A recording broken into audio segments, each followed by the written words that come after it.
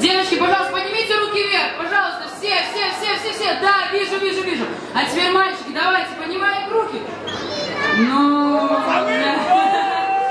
ну, конечно же, следующая песня для наших прекрасных, красивых девушек. А называется она «Девочка с луны».